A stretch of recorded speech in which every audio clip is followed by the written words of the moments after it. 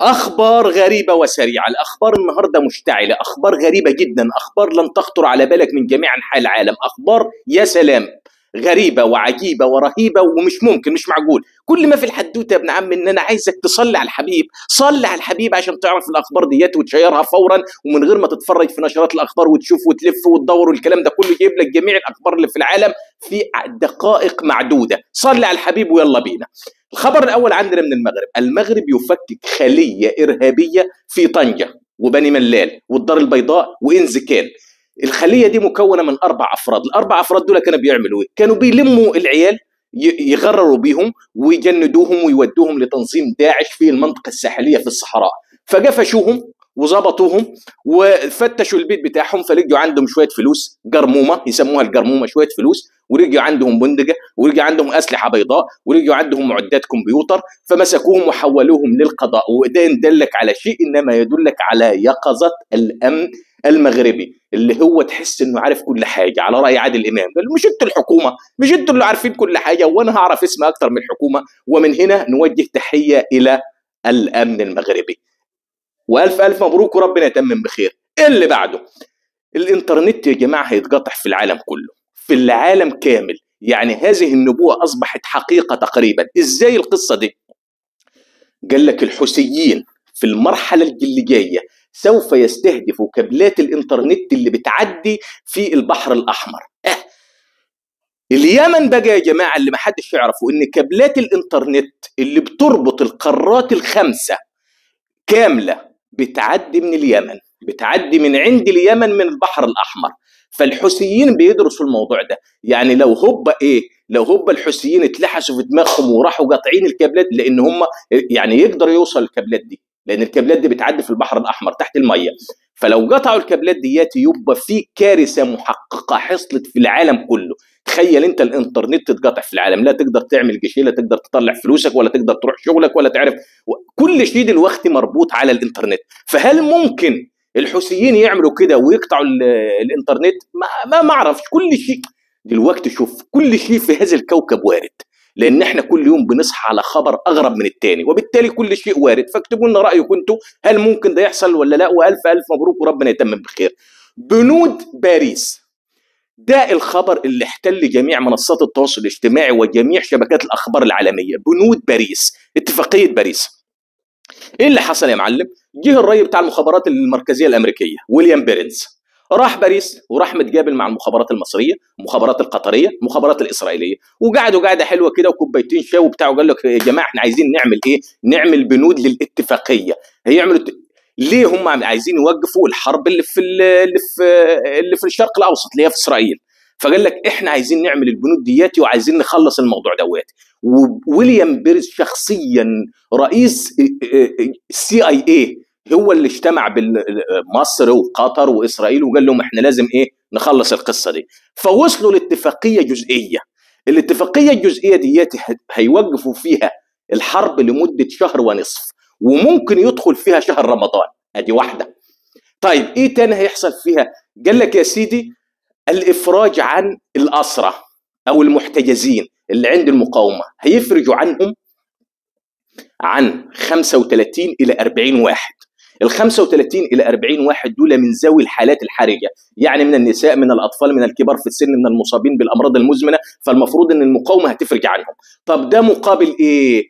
مقابل إن يفرجوا من الناحية الثانية اللي هي الكيان يفرج. مقابل كل واحد الكيان هيفرج عن 100 يعني إذا إذا إذا أفرجوا عن 40 أضرب 40 في 100 بكام؟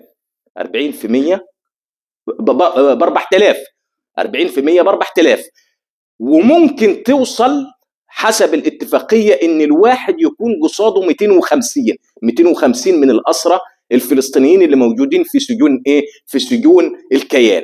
دي نص الاتفاقية اللي هي إيه؟ مستنين رد من المقاومة. لذلك إسماعيل هنية هيطير هيروح مصر عشان يقابل عباس كامل رئيس المخابرات. ويقابل المصريين ويشوفوا يدوهم رد حاسم على هذا الموضوع. يعني نتمنى نتمنى نتمنى إن تقف هذه يعني هذه المأساة الإنسانية يا رب العالمين. نتمنى من الله. اللي بعده نفس السياق إن وزير الدفاع الإسرائيلي يوقف يوقف غلانت جلانت قال لك إحنا بعد الحرب سوف نحكم القطاع عسكريا. يعني يعني دي ما فيهاش كلام.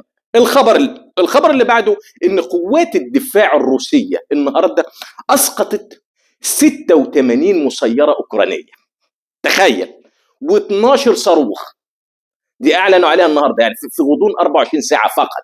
فده يعني إن هم يعني في حالة يقظة وبتاع وكلام من ده وألف ألف مبروك وربنا يتمم بخير. اللي بعده في خبر غريب جدا وعجيب جدا. يعني مجنن الناس كلها اللي هو خبر بتاع المنسف العراقي.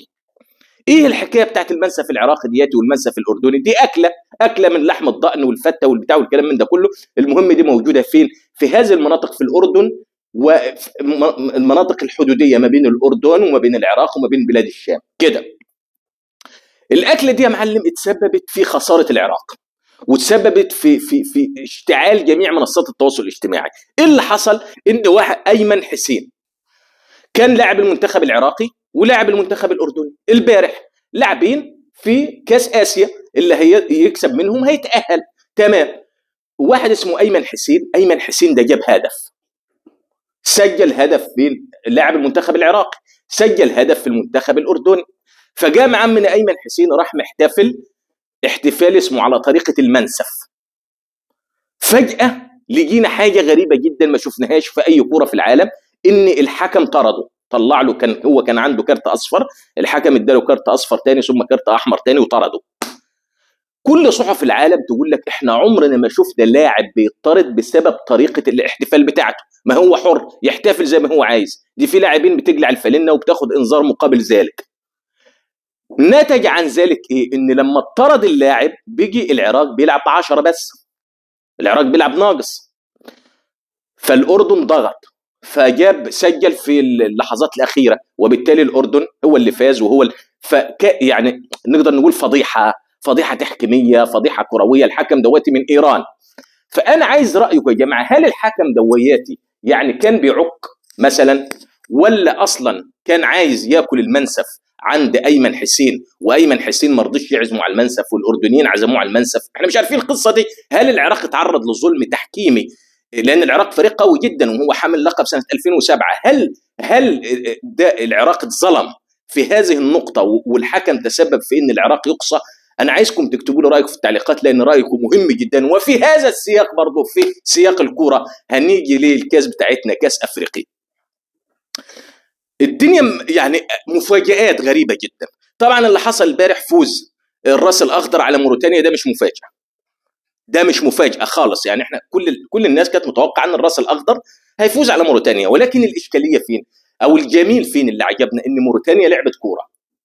موريتانيا لعبت كورة مفتوحة وتيكي تاكا وما قفلوش الملعب. والهدف اللي جه بتاع الرأس الأخضر ده جه من خطأ دفاعي. يعني الواد بتاع بتاع موريتانيا بدل ما يرجعها الحارس ضربها بدماغه وصلت للاعب بتاع الراس الأخضر جابها يون في آخر في آخر الدقائق يعني خطأ خطأ دفاعي.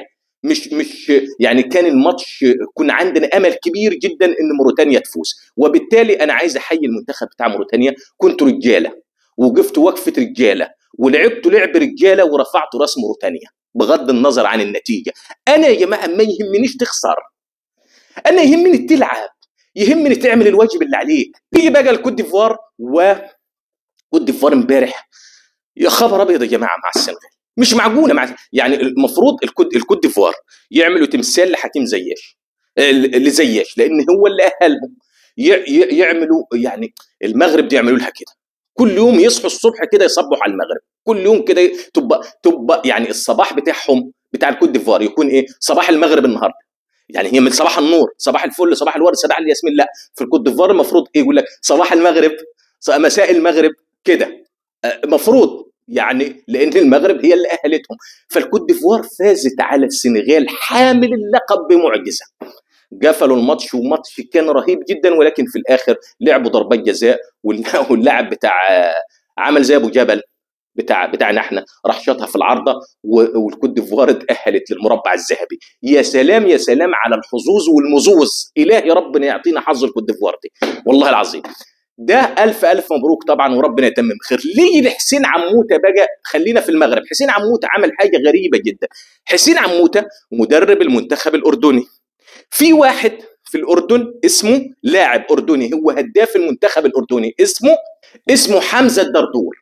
حمزة الدردور ده هو يعني هو الهداف بتاع الأردن وجايب 35 هدف في, مع المنتخب وجايب أربعة في كأس آسيا. حسين عموتة راح شاله خالص. المدرب المغربي قال له أنت مش هتلعب معانا ومش هتحضر مش عارف إيه النهارده امبارح شالوا قال لك بسبب الضوابط والتعليمات. يعني في حاجة غلط حصلت كده فأصبح الم... أصبح الهداف بتاع الأردن مش هيلعب في الدورة اللي جاية. إحنا ما نعرفش التفاصيل بتاع المشكلة ديت وإيه الضوابط ديت إحنا ما نعرفش. لكن إحنا نقول ألف ألف مبروك وربنا يتمم بخير. نيجي بقى للخبر الأخير. الخبر ده يا جماعة يا خبر الخبر ده يا خبر أبيض. فعلا الراجل إيلون ماسك نجحوا النهارده إن هم يزرعوا شريحة في الدماغ. قال لك حصلت أول زرع لشريحة في الدماغ النهارده. اللي كنا طبعا خايفين منه والعالم كله يقول لك مستحيل يفتحوا الدماغ ويدخلوا فيها شريحة والكلام ده كله. جربوها في الأول على الجرود وبعدين عملوا الشريحة دخلوها في دماغ واحد النهارده ونجحت العملية. طب إيه الشريحة دياتي ولازمتها إيه وهتعمل إيه والكلام ده كله؟ قال لك يا سيدي الشريحة دي هي اللي هتحمي الدماغ من أي تلف. لأن هو الإنسان أي حاجة شوف القلب ممكن يتوقف 10 دقائق والإنسان يعيش عادي. الدماغ لو توقفت ثانية المخ لو توقفت ثانية واحدة بس الإنسان يموت. يعني اللعبة كلها فين؟ في, في الجمجمة ديات في حتة البتاعة ديات اللي هي موجودة هنا في الدماغ ديات اللي عاملة زي البصلة فقال لك دي الشريحة دي هتحمي الدماغ من أي تلف. وكمان لو حد عنده شلل تصور حد عنده شلل الشريحة دياتي هتعطي أوامر للجهاز العصبي بإن هو يرسل إشارات بإن الأطراف المشلولة تتحرك. تخيل يعني دي ثورة علمية رهيبة جدا واللي عملتها الشركة بتاعت إيلون ماسك. يعني حاجة غريبة عجيبة جدا. عايزك تكتب لنا رأيك في التعليقات. هل الكلام ده ممكن؟ هل فعلا ممكن تنجح العملية ديات؟ ما نعرفش. المهم اكتبنا رأيك في التعليقات واستنونا في أخبار قادمة. كلها إثارة ومتعة وتشويق. وإيه؟ وشكرا.